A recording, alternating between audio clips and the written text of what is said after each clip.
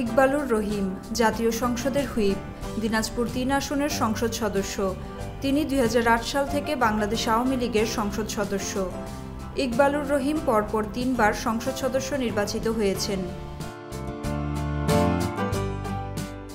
ইকবালুর রহিমের জন্ম ষোলোই আগস্ট উনিশশো পঁয়ষট্টি সালে। তার পৈতৃক বাড়ি দিনাজপুর জেলার সদর উপজেলার দক্ষিণ মুন্সিপাড়া এলাকায়।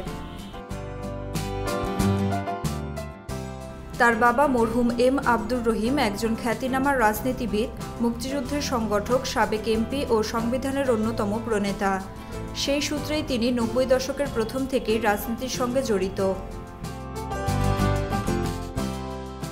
মাঠ পর্যায় থেকে রাজনীতি করে এসেছেন ইকবালুর।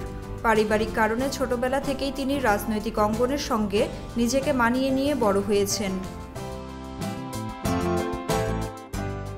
ইকবালুর রহিম মানবিক বিভাগ থেকে দিনাজপুর জেলা স্কুল হতে প্রথম বিভাগে উত্তীর্ণ হন। তিনি স্কুল জীবনে পুরোটা সময় ছিলেন স্কাউটের সঙ্গে সম্পৃক্ত। শরীরচর্চা এবং খেলাধুলায় বেশ দক্ষ ছিলেন তিনি। রাজশাহী বিশ্ববিদ্যালয় কলেজ থেকে উচ্চ মাধ্যমিক পাশ করে ঢাকা বিশ্ববিদ্যালয় হতে ইতিহাসে বিএ সহ এম করেন তিনি। ঢাকা বিশ্ববিদ্যালয়ে পড়ার সময় ঢাকা বিশ্ববিদ্যালয়ে ছাত্রলীগের সভাপতি এবং উনিশশো বিরানব্বই সালে কেন্দ্রীয় ছাত্রলীগের সাধারণ সম্পাদক নিযুক্ত হন। অনুরুদ্ধ সাতাশ বছর বয়সে কেন্দ্রীয় ছাত্রলীগের তিনি প্রথম সাধারণ সম্পাদক। রাজশাহী বিশ্ববিদ্যালয় কলেজ ছাত্রলীগের তিনি প্রথম সাধারণ সম্পাদক। ঢাকা বিশ্ববিদ্যালয় ছাত্রলীগের সভাপতি হিসেবে তখনকার স্বৈরাচারী সরকার উত্থান আন্দোলনে সক্রিয় ভূমিকা রাখেন। পরবর্তীতে তিনি উনিশশো বিরানব্বই সালে বাংলাদেশ কেন্দ্রীয় ছাত্রলীগের সাধারণ সম্পাদক হন।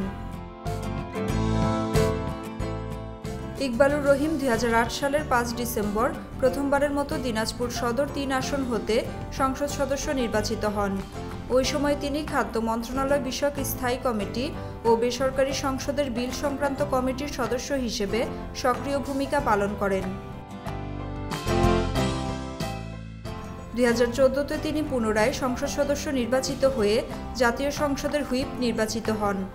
সবশেষ একাদশ জাতীয় সংসদ নির্বাচনেও জয়ী হন তিনি। রাজনৈতিক পরিমণ্ডল ছাড়াও তিনি একজন সফল ব্যবসায়ী। তার বাবা উনিশশো একাত্তর সালে মহান মুক্তিযুদ্ধে পশ্চিম জোনের জোনাল চেয়ারম্যান ছিলেন। তার স্ত্রী নাদিরা সুলতানা মুক্তি। দুই কন্যা ইশরাক মার্জিয়া, রাইসা মুমতাহিনা এবং পুত্র রাফিদুল রহিমকে নিয়েই তার সাজানো সংসার। দাতা হিসেবেও নিজ নির্বাচনী এলাকায় তিনি যথেষ্ট জনপ্রিয়। এছাড়া দিনাজপুর সদর উপজেলার বাঙ্গিবেচায় মানবপল্লী নামে হিজরা পুনর্বাসন কেন্দ্র গড়ে তোলেন।